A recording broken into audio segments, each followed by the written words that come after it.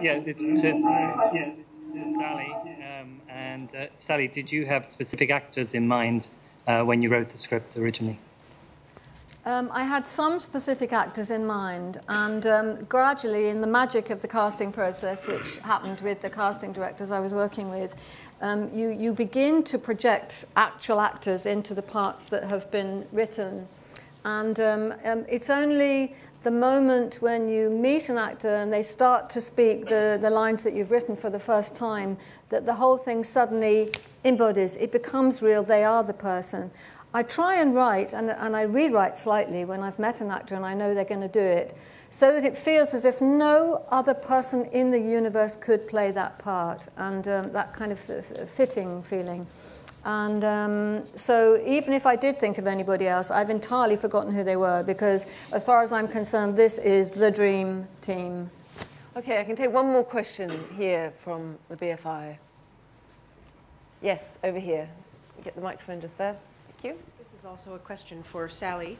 Um, maybe could you talk to us a little bit about your choice to use the monologue form throughout the film and how that relates, I guess, to the overall narrative and as well to, to the kind of pared down cinematic style that you've employed here?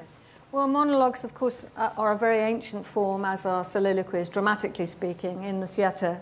It's also a very modern form through the confessional in, in reality TV, and, and as, as Riz was referring to, too. So it seemed to me that there was something about a, a great link from, from the old to the new. It's also, of course, what happens in therapy or psychoanalysis. Somebody goes on and on and on, uninterrupted, and inadvertently starts to reveal things. And it was that that I wanted to look at what happens under conditions where somebody is listened to attentively without interruption, the truth starts to emerge, whether they like it or not. And it was to, to look at that gap and, and see what happened in the context of a world which generally involves a certain amount, let's say, of pretense. Good. Okay, well, we're pretty much out of time. I just wanted to thank you, uh, Lily, in New York, for taking part. Lily. with, all the, with all the challenges.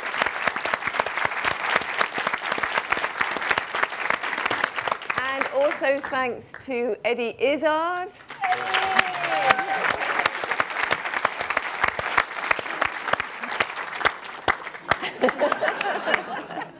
and uh, thanks here on, on stage to Riz Ahmed, Simon Abkarian and, and Sally Potter. And thank you very much. thank you. Um, Thank you, questioners from all the cinemas. Thank you from texts, SMSs, and thank you all very much for being part of this first worldwide interactive cinema experience.